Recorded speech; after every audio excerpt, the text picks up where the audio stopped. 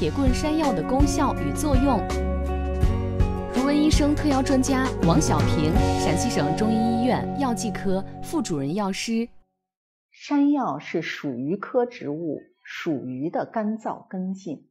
铁棍山药呢是山药中的极品，因为它的表皮呢颜色是铁锈色，所以称为铁棍山药。以河南焦作温县出产的最为道地。中医认为山药。味甘性平，归脾肺肾三经，具有益气养阴、补脾益肺的功效。